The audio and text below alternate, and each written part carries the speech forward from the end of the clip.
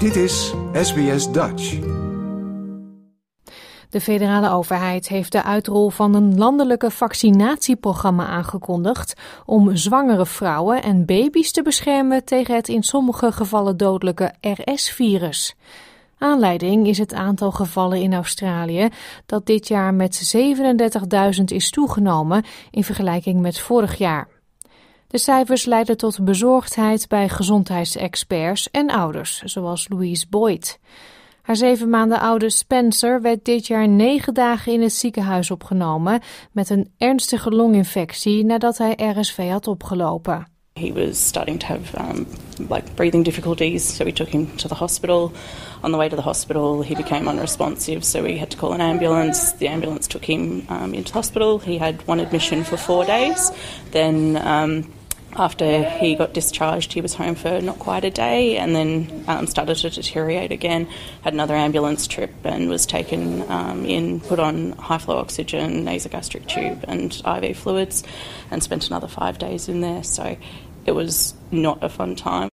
Er was toen geen gratis RSV-vaccin beschikbaar voor Spencer, maar dat zal snel veranderen voor andere kinderen in dezelfde situatie. De overheid is van plan om de komende vier jaar meer dan 174 miljoen dollar te investeren om het virus te helpen bestrijden. Het gratis vaccin is vanaf volgend jaar beschikbaar voor baby's en zwangere vrouwen in hun derde trimester. RS is een veel voorkomend virus dat meestal milde symptomen met zich meebrengt, die vergelijkbaar zijn met de griep en COVID-19. De meeste kinderen krijgen RSV voordat ze twee jaar oud zijn. Maar RSV is in Australië ook de belangrijkste oorzaak van ziekenhuisopnames onder baby's. Minister van Volksgezondheid, Mark Butler, zegt dat de overheid heeft geluisterd naar de oproepen van ouders en belangenbehartigers voor bescherming. Every winter, around 12,000 babies are hospitalised through RSV, and as many as a quarter of them have to spend time in an intensive care unit. This winter uh, has been a really hard one, with more RSV cases recorded than last year. Het aantal RSV-gevallen is gestegen van 96.000 in 2022 tot meer dan 165.000 tot nu toe dit jaar. Voorzitter van de Australian Medical Association, Dr. Daniel McMullen, zegt dat de toename een bredere trend laat zien.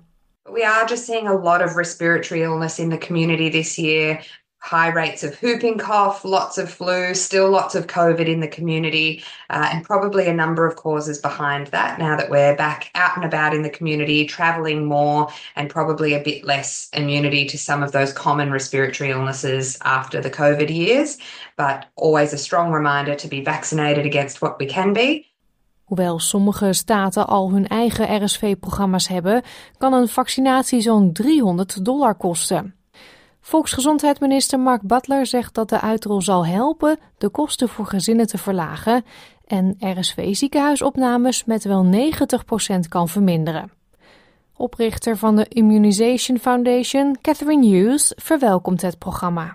RSV is the number one reason why Australian kids under five are hospitalised each year, and today's announcement will be a huge relief to many families around the country. This program is likely to prevent 10,000 hospitalisations every single year.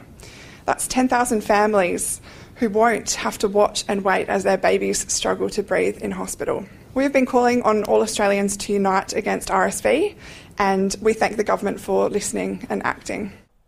Het RSV-vaccin kan ook grote gevolgen hebben voor Australiërs van boven de 50. Toch zullen zij niet worden opgenomen in het gratis nationale vaccinatieprogramma. Gezondheidsexperts raden mensen die tot een van de risicogroepen behoren aan om met hun huisarts te praten over het vaccin. Een belangrijke kans voor ouders zoals Louise Boyd. I'm very happy that it's going to be nationally available and no other families should have to go through what we went through because it was not fun. Dit was een verhaal van Brianna Piazza en T. Mitchell voor SBS Nieuws. En de Nederlandse vertaling werd gedaan door SBS Dutch. Wil je nog meer soortgelijke verhalen? Luister via Apple Podcasts, Google Podcasts, Spotify of waar je je podcasts dan ook vandaan haalt.